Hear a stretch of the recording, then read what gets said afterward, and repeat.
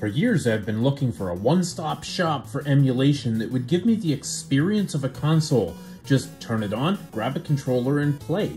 As recently as a handful of years ago, we were still downloading specific emulators on PC to play certain systems Dolphin for GameCube, Citra for 3DS. If you've messed around with emulation, you know this approach lacks elegance. It feels clunky. It feels like a hobby for computer nerds who already have a vast amount of technical knowledge. The settings and constant tinkering to get games to run or run well can be overwhelming. A couple years ago, I had my first experience with an emulator front end, Lemuroid, which takes emulators like RetroArch and gives them a Netflix like experience with game cover art, collections, a, a snazzy UI, and more importantly, just makes all your various ROMs just work. No downloading and installing emulators and cores, it's all there by default. Sure, you can tweak stuff if you want to, but this was an excellent experience when paired with a Razer Kishi controller and an Android phone. I made a video about this a while back and I'll link it in the comments. That brings us to 2024 and my journey with Batocera. Now, to be clear, Batocera has been around for a long time. It's on its 38th or 39th version, but I only really heard about it in the last year or so from YouTubers like RGT85 talking about things like mini PCs running emulators. It's pretty common on Amazon and eBay to find these gaming hard drives loaded with like 20,000 games that you can plug into any computer and just boot into it. So I started doing some research. I already had tons of ROMs downloaded and several spare hard drives and thumbsticks laying around. Why should I pay some guy in China for a crappy portable drive when I could build my own, right? I started with an old i5 ThinkPad I had laying around and a 64 gig thumb drive. I found the Batocera image through a Reddit feed and learned that I had to use a package installer type program to flash the thumb drive. Raspberry Pi installer works great, so after watching a few tutorials, I was able to get it up and running in probably less than 20 minutes. The quirk with Batocera is that it's actually a distribution of Linux, an open source operating system similar to what Valve used for the Steam Deck. So, unlike most standalone emulators, this is not a program that you run on a computer, it is the whole operating system. Most computers will need a little bit of mucking around in the, uh, the system BIOS to allow it to boot into a thumb drive, but after figuring that out, my life changed. I am now an emulation guy. Booting into Batocera for the first time, I'm greeted with an easy to understand interface. It can be completely controlled with a game controller. The only thing you really need a keyboard for is to get into the file management backend or do stuff like adjust screen brightness or music volume. I actually discovered later that you can do some of those things with the controller as well. Uh, so now we begin the process of loading the ROMs. There was a bit of a learning curve here as different systems need to have their ROMs presented in different ways. Some systems like to have them zipped, and some like them unzipped. The default emulators used in Batocera sometimes need certain file types that may require downloading new ROMs or figuring out how to convert them but all of this is very well explained by two YouTubers, and I want to give them a shout out Batocera Nation and the Retro Gaming Guy. Every single question I had was explained uh, in a video by one of them. The next thing I had to find, and again, Reddit came through, was BIOS files. Many systems need BIOS files to make the games run right. I found a collection of many of the popular systems BIOS files on Reddit, and it was as easy as dragging them and dropping them into the BIOS folder. If you haven't figured out by now, I'm not the most tech savvy dude on the internet, and this was all pretty easy to understand. My end goal here was to take this old iMac I had laying around that was too old to be useful in the Mac ecosystem and make an arcade machine out of it. So having figured out the basics, I set out to flash a 1TB hard drive and figure out how to get it installed in the iMac. Meet FrankenMac. This is an iMac, 2008 iMac that has a Batocera build on it.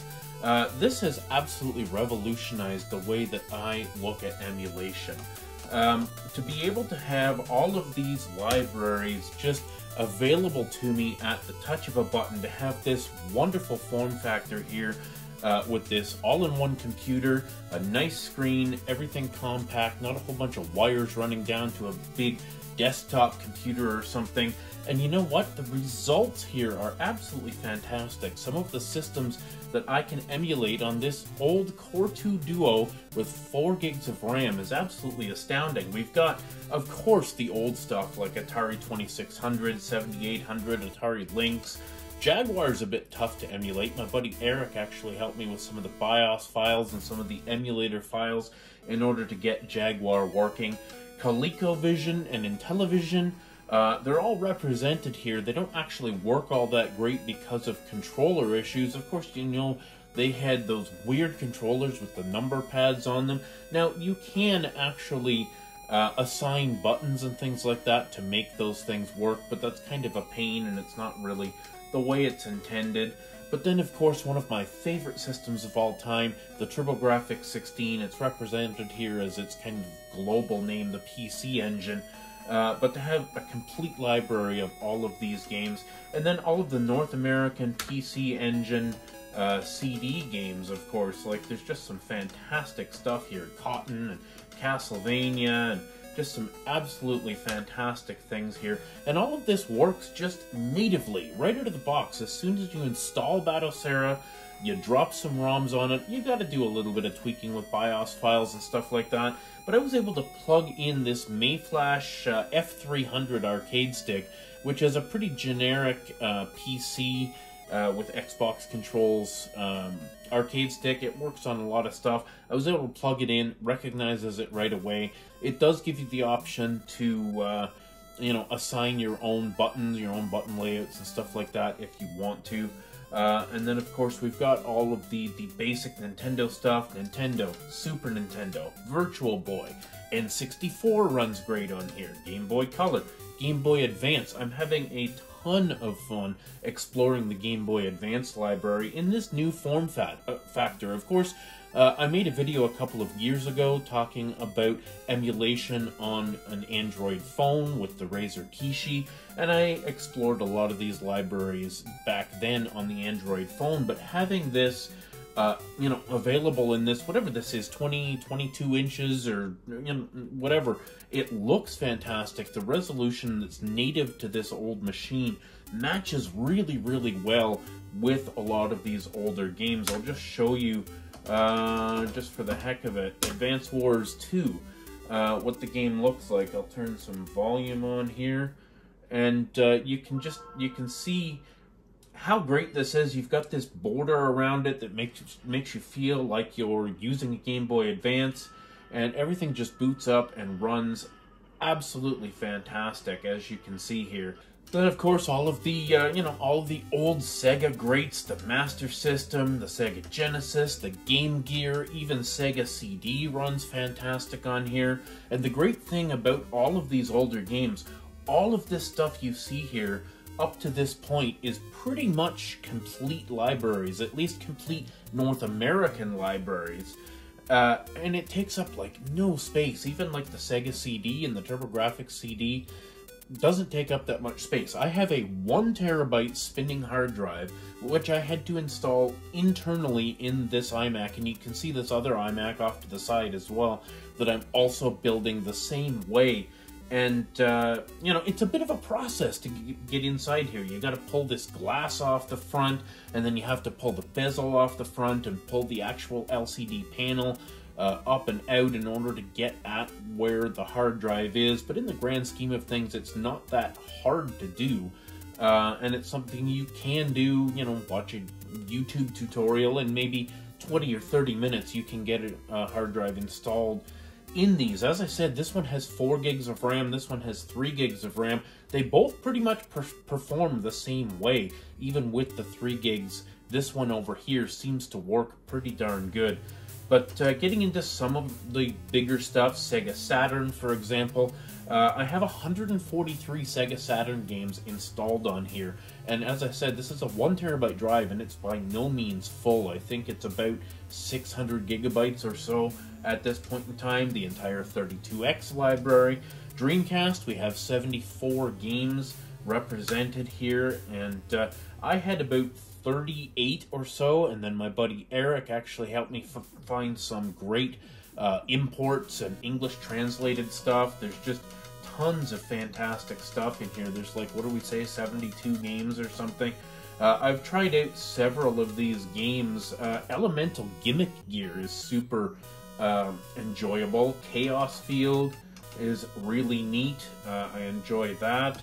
There's so many great games in here. And then Neo Geo was another one that we had a bit of a problem with, or at least I had a bit of a problem with, because I'm not the you know the most techie guy in the world, but uh, uh, my buddy Eric helped me again. Thanks, shout out to Eric for uh, getting the Neo Geo working. It was a problem with the emulator I was using, and I think the, the the file type of the ROMs that I had was wrong, so we had to re-download. But now being able to play all of these classic Neo Geo uh, arcade and console games, stuff like the Metal Slug series and King of the Fighters, just you know fantastic stuff all in all, uh, I think there are about 8,500 games and counting on this system. Even stuff like the Neo Geo Pocket Color, and then going over to the PS1. Uh, I have 334 PS1 games on here. Uh, I have 83 PSP games on here, and that pretty much represents everything that is on here. But the great thing about this is that all of this stuff is playable almost without any tweaking on this particular system. I have several other builds of Batocera that I'm working on. I have some uh, on a i5 ThinkPad laptop that I may show you in the B-roll. Uh, it's got a 2 terabyte SSD in it, and it's quite capable of running PS2, GameCube, uh, original Xbox. I have yet to test Wii on it, but I believe that Wii will run. And then I have an external build on an external hard drive, which can be plugged into other computers. And when I plug that into my gaming computer over here, I'm actually able to play PS3 games, uh, like absolutely seamlessly on that device. So uh, if you're looking for a way to you know, create an arcade machine in your house on the cheap you can find one of these 2008 iMacs for anywhere from about 50 to $100 Canadian, probably cheaper in the States. Uh, I paid about $100 for this one at Value Village, which is our version of Goodwill. This one I actually found at a pawn shop for 40 bucks. And uh, they're, they're identical machines, and uh, this will run every, everything up to, you know, PSP, as you saw here. And there's probably more systems that I could get running. I've experimented with, you know, older stuff like Commodore 64 and ZX Spectrum, and all that stuff runs fine but it's kind of a challenge getting it to work with the controls and stuff. A lot of them rely on specific keyboard inputs and that sort of thing that, you know, as I monkey around with this stuff more and get more experience with it, I'll probably be able to figure out. But honestly, there's not a lot of games in those libraries that I care about all that much. So, you know, this is the stuff I really care about. And what I found myself going back to are libraries that I didn't have a lot of exposure to you know, back in the day. Things like the PSP and checking out all of the amazing uh, JRPGs on that library and the N64, which I always kind of trashed. I always, you know, sort of made fun of the N64, but I'm discovering as I dig into the library that there are some fantastic games to be played on the N64, weird controls notwithstanding. Uh, I'm really enjoying the Game Boy Advance. That's one of my favorite libraries that I never experienced back in the day. So, if this is something you're interested in doing, absolutely reach out to me. I will give you all the tools and resources to make something like this happen at your own house. Don't go out to, you know, eBay and buy one of the, those you know, Chinese $250 hard drives or whatever. I mean, unless you want to. It's nice to have it all set up and ready for you. It is quite a bit of work to actually get this personalized to the way you want it. There are several different options for scraping from different websites to get uh, sort of the different uh, cover art and, you know, things like that. You can choose to have video displays uh, you know, on the menu of the different games that you want. You can also download the manuals for many, many games, um, which you can, you know, access and look at the manual here on the screen. Uh, you can download music, like video game music, from the internet and load it on here so you have your own selection of music. So there's a lot of ways that you can really, really customize this arcade machine to make it your own.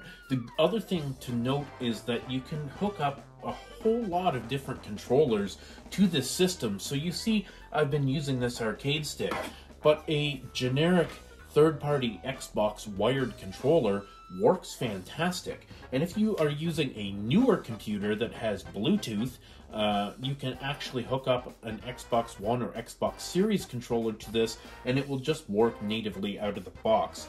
Uh, another great controller that I found specifically for the retro games is this 8BitDo uh, M30 controller with a 2.4 gigahertz dongle. I have that plugged into this machine here, and when you're playing virtually anything that didn't require uh, an analog thumbstick, uh, you know, anything that runs off a D-pad. Uh, so your Game Boy Advances, your NES, Super NES, Genesis, all that kind of stuff is fantastic on this controller. This is about $35 Canadian. The D-pad is maybe the best D-pad I've felt in like 30 years. It's fantastic. Having this uh, you know, six button layout similar to the Saturn controller and the Genesis six button controller. You've got shoulder buttons up here like, like the SNES, the, you know, just the two left and right.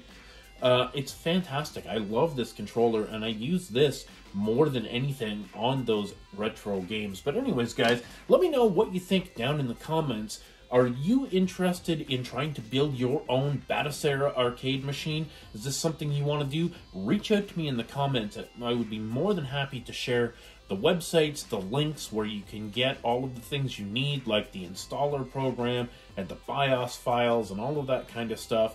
Uh, you know, more people need to know how fantastic an experience this is. Anyways, guys, thanks so much for watching.